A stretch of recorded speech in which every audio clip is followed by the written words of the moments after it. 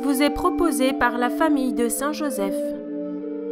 Les moines moniales de Saint-Joseph vous invitent à partager leur méditation et leur amour de la parole de Dieu en écoutant l'homélie proposée par le frère Dominique Joseph.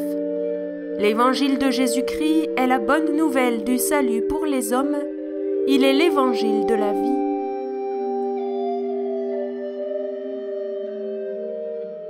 Frères et sœurs, nous voici cette semaine euh, au chapitre 9 de l'évangile de Saint Jacques, euh, c'est-à-dire quelque temps après l'épisode que nous avons médité la semaine dernière. Il y a eu entre-temps, euh, par exemple, et ça n'est pas rien, l'épisode du Tabor.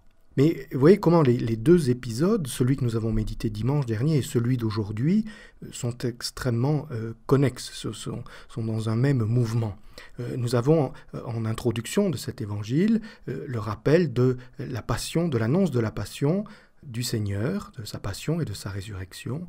Il insiste, c'est pas la première fois qu'il l'annonce, il y revient parce que les disciples ont besoin de l'entendre non pas pour qu'ils arrivent à le comprendre, euh, la résurrection leur est complètement inconnue, la passion leur est absolument inconcevable, euh, à nous aussi d'ailleurs, malheureusement, euh, mais parce qu'ils auront besoin d'imprégner leur mémoire, d'avoir présent dans leur mémoire, lorsque les événements se produiront, et après que les événements se sont produits, l'annonce du Seigneur, pour qu'ils puissent voir que tout est conforme à ce qu'il avait projeté, que tout s'est réalisé en accomplissement de la promesse.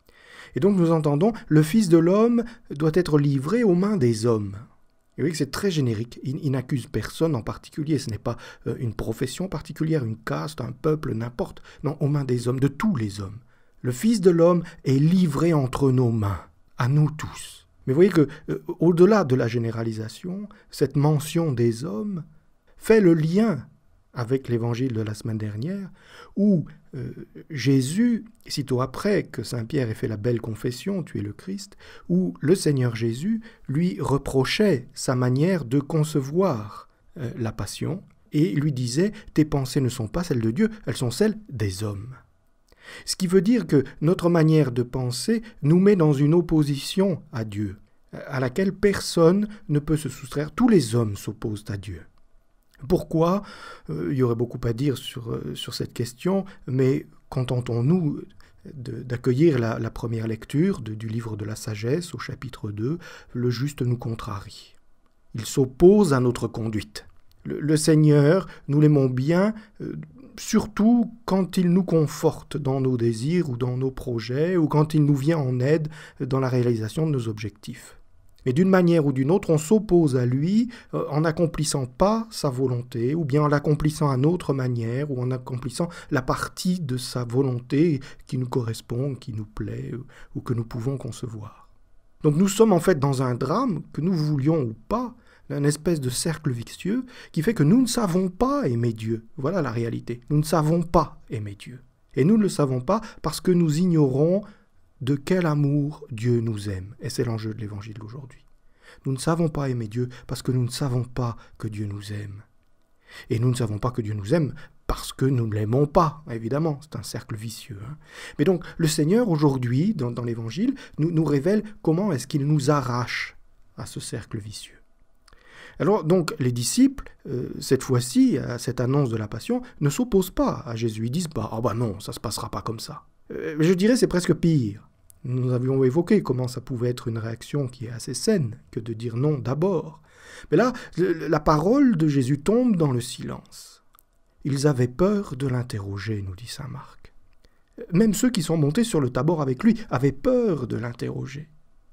Pourquoi? Ben justement, tes pensées ne sont pas celles de Dieu, mais celles des hommes. Quand l'Église est trop humaine, quand, le ministère n'est pas assez vigoureux, lorsqu'on s'installe dans euh, le caractère institutionnel, il y a alors trop de risques à interroger le Seigneur.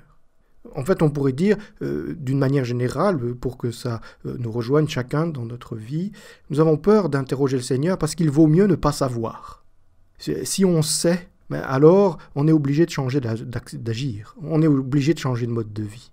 Et ça, on l'a expérimenté plusieurs fois. Plusieurs fois, on a dit maintenant que je connais les exigences du Seigneur, je ne peux plus faire comme si je ne les connaissais pas. Je ne peux plus faire comme si elles n'existaient pas. Alors flûte. C'était plus pratique avant. Ou bien alors, et il ne faut pas exclure cette, cette dimension, parce que euh, la vie chrétienne est d'abord une vie mystique, et donc il y a aussi en nous le pressentiment de la profondeur du mystère de Dieu. J'ai peur de poser la question parce que je suis submergé par le mystère de la passion. Je suis écrasé par la beauté de, la résurrection qui se donne à contempler, par exemple, dans le Saint-Sacrement de l'autel. Mais pour, pour notre marche d'aujourd'hui, gardons cette invitation à l'obéissance de la foi. À l'obéissance de la foi, c'est-à-dire poser la question sur ce que nous ignorons. Osez poser vos questions au Seigneur Jésus, frères et sœurs. Et ensuite, obéissance de la foi. Hein. Il faut orienter son action en fonction de la réponse qu'on a obtenue. Cette réponse, qui est toujours vraie, qui est toujours pleine, mais à laquelle nous accédons partiellement, par étapes. On a un chemin de foi. Le tout est de ne pas s'arrêter à une des étapes. Le tout est de continuer à marcher vers la pleine réalisation de ce que le Seigneur nous demande de vivre euh, par sa grâce. Donc, pour posons les questions. Cette semaine, c'est le moment de se rappeler que le Seigneur attend nos questions. Et il nous montre l'exemple, parce que lui-même, il n'a pas peur de nous interroger. Le Seigneur sait bien que sa question va susciter une réponse qui va faire souffrir les disciples. Il sait bien que ce n'est pas agréable à entendre. Mais la question est nécessaire pour que les disciples découvrent ce qui ne va pas. Et, là, il y a mille manières pour nous de nous exposer aux questions du Seigneur Jésus sur ce que nous vivons. Et la première d'entre elles, c'est évidemment l'examen de conscience quotidien.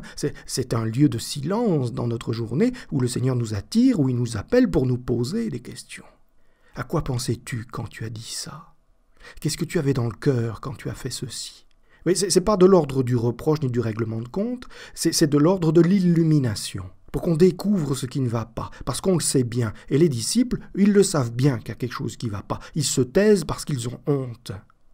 Ils savent confusément, confusément d'accord, mais ils savent que leur attitude ne correspond pas à l'attente du Seigneur. Alors ils se taisent. Et quelle est cette attitude? Ben, C'est une question, ben, comme toujours, c'est une question qui concerne la hiérarchie. Alors on aime les comparatifs. On adore évaluer, sous-peser, comparer. Et eux, eh bien eux, ils savent qu'ils ont été mis à part. Vous voyez que cet évangile concerne la vie spirituelle. Bien sûr, il y a une dimension tout à fait charnelle et tout à fait temporelle. On peut très bien imaginer que les disciples se demandent quelle sera leur place euh, dans le royaume à venir et qu'ils imaginent un royaume terrestre. Et donc ils se disent, bon, si Saint-Pierre est le Premier ministre, qui est-ce qui va être ministre de l'Intérieur ou que sais-je? Bon. Mais c'est d'abord une question spirituelle. Ils savent qu'ils ont été mis à part. N'en faisons pas des carriéristes N'en faisons pas des hommes qui se mettent au service d'une institution qui n'existe pas encore. Euh, ce sont des, gens qui voient le Messie, qui vivent avec le Messie, qui ont conscience de l'avènement du royaume, aussi confus que soit le royaume pour eux. Et donc ils savent que dans ce royaume, ils ont été mis à part pour une place d'exception.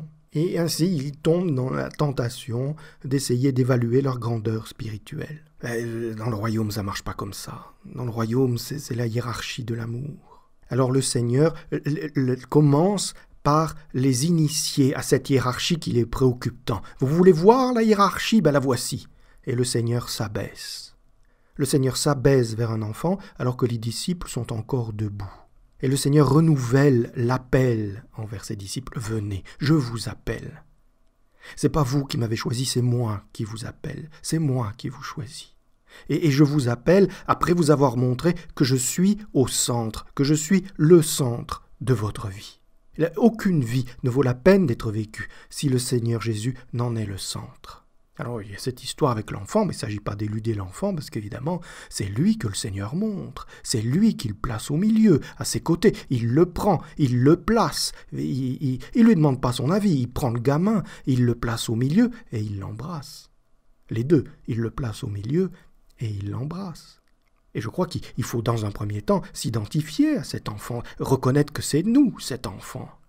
Mais le, pauvre gamin, ben, il était là, on ne sait pas ce qu'il faisait, ben, il faisait ce que font les enfants, peut-être qu'il s'amusait, peut-être qu'il rêvait, peut-être qu'il écoutait les conversations des grands en étant fasciné, en se disant oh, comme ça doit être intéressant ce qu'ils disent, je comprends pas tout, mais je vois que c'est important. Bref, il est là. Et, le Seigneur prend l'enfant, euh, il, n'a rien à dire. il le prend et il le place.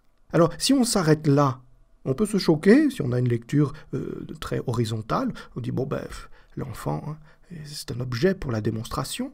Mais si on voit que c'est un geste spirituel, et évidemment c'en est un, puisque c'est le Seigneur qui le pose, on dit ben déjà l'enfant est immédiatement sanctifié. S'il est utile à Dieu pour révéler son royaume, c'est qu'il a une place de choix dans ce royaume. Et donc l'enfant est embrassé. Et, finalement, avant même d'être placé au milieu, le fait qu'il soit embrassé devient important. C'est-à-dire que l'enfant ne comprend pas ce que le Seigneur veut de lui. Il comprend sans doute qu'il est utile, ça c'est certain, mais il ne comprend pas vraiment pourquoi, il ne comprend pas vraiment à quoi. Il perçoit qu'il y a une démonstration qui est en train de se faire, mais il l'évalue mal. Mais par contre, l'enfant ressent, en vérité, en profondeur, l'amour que le Seigneur Jésus manifeste à son égard. Il ne se sent pas objectivé pour la démonstration d'un instant, il se sent appelé, mis à part contre le cœur de Jésus, embrassé pour recevoir la chaleur de cet amour qui ne lui sera pas retiré. Le Seigneur donne mais ne reprend jamais, jamais. Il ne sait que donner. Et donc l'enfant accueille cet amour inattendu, cet amour qui se révèle à lui sans, sans qu'il l'ait même demandé peut-être et l'amour le transforme. Et voici cet enfant rayonnant. Et c'est parce que cet enfant est aimé de l'amour du Christ qu'il est transformé et qu'il rayonne de l'amour du Christ. C'est parce que cet enfant est aimé de l'amour du Christ qu'il peut être identifié au Christ. L'enfant qui est au milieu de l'Évangile, c'est le Christ. Et alors, si on prend cette démonstration, cette dynamique de l'amour, on se rend compte que le Christ est à côté de l'enfant. Et en l'embrassant, il nous demande de le reconnaître dans cet enfant. Mais alors, qui est à la place du Christ? Ou de qui le Christ prend-il la place? Sinon du Père, du Père éternel. La voilà la révélation. Le voilà le secret de Jésus, celui qu'il veut partager avec ses disciples. Il nous montre celui qui ne ressemble à rien, il nous montre celui qui est inconnaissable. Il se présente à nous comme le visage du Père infini, du Père éternel, de la source, de l'amour. Alors frères et sœurs, pour cette semaine, demandons cette grâce de vivre dans l'Esprit Saint, cet abandon entre les mains du Seigneur Jésus. Il sait quelle est notre place. voyez, trop souvent, nous attendons les consolations de la part du Seigneur. Nous, nous implorons l'Esprit consolateur pour nous-mêmes, pour arrêter de souffrir, pour sortir de nos impasses, pour trouver des solutions à nos situations de mort, dans les coups de péché dans lesquels nous nous sommes enferrés. Mais voyez que c'est tout autre chose qui se joue là. Se laisser embrasser par Jésus, se laisser aimer par le Christ Jésus, euh, pas pour notre épanouissement personnel, mais pour qu'il nous mette à notre place, celle qui lui permet de révéler le visage du Père à chacun de nos frères. Euh, finalement, faisons cette semaine la prière la plus simple et la plus importante qui soit. Seigneur Esprit Saint, fais de nous d'autres Christ. Seigneur Esprit Saint, fais de nous des chrétiens.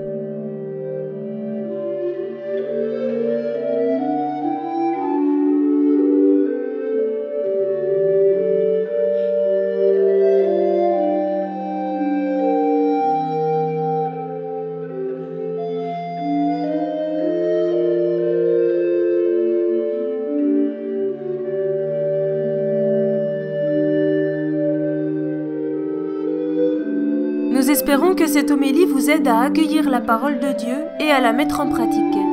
Vous pouvez confier vos intentions de messe aux frères prêtres de la famille de Saint-Joseph. Si cette homélie vous a touché, merci de la partager sur les réseaux sociaux et de vous abonner à notre chaîne. Bonne semaine